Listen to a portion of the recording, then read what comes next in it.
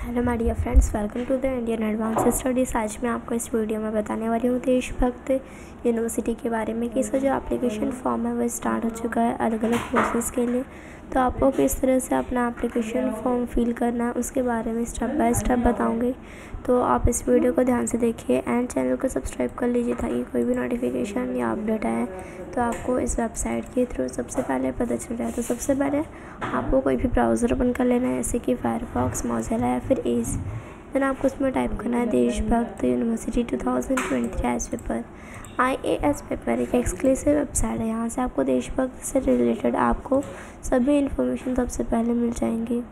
Then यहाँ पे दिया गया है Deshbhakt University admission two thousand twenty three application started dates eligibility pattern and syllabus then यहाँ पे फाउंड हुआ था नाइनटीन नाइन्टी सिक्स में पंजाब के एम्पल में। एंड देन यहाँ पे U G and P G courses के लिए इसका एप्लीकेशन फॉर्म स्टार्ट है। देन यहाँ पे नोटिफिकेशन आया है इसका जो एप्लीकेशन फॉर्म स्टार्ट हो चुका है। क्लिक किया to check the application details पे आप क्लिक करेंगे। देन आप जो है न्यू टैब में ओपन हो जाएँगे। यहाँ पे एप्लीकेशन प्रोसेस के बारे में एंड एलिजिबिलिटी क्राइटेरिया के बारे में दिया गया है। देन यहाँ पे क्लिक किया टू अप्लाई पे आप क्लिक करेंगे। देन आप इसके ऑफिशियल वेबसाइट पे ओपन हो जाएँगे। देन यहाँ पे अप्लाई होना पे आप क्लिक करेंगे। देन आप यहाँ पे न्यू टैब में ओपन हो जाएँगे। यहाँ पे आपको अपना name mobile number email address city level department and course then आपको आपको आई पे क्लिक करके आपको सबमिट पे क्लिक करना होता है. बट अगर आप न्यू हैं तो यहाँ सर अगर आपने पहले से रजिस्टर किया तो, तो यहाँ पे आपको इस पर क्लिक करना होगा. देन आप जो है न्यू टैब में ओपन हो जाएँगे. तो चलिए पहले हम यहाँ पे सारा इन्फॉर्मेशन फिल करते हैं.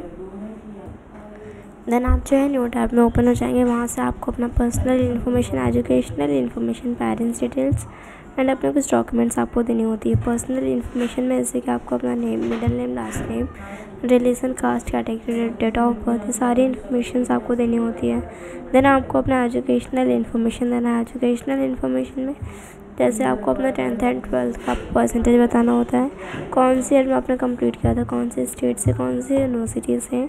एंड देन आपको अपने पेरेंट्स इन्फॉर्मेशन देना होता है। पेरेंट्स इन्फॉर्मेशन में फादर नेम मदर नेम उनका email ID mobile number and then आपको जो है, उनका ऑक्यूपेशन बताना होता है।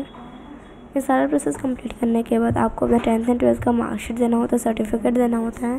देन फ़ोटो देंगे आप जे पी जी या पी एन जी फॉर्म में एंड देन सिग्नेचर करना हो देन आपको अपना जो है एप्लीकेशन फ़ीस देना होता है। आप अपना एप्लीकेशन फ़ीस किसी भी तरह दे सकते हैं।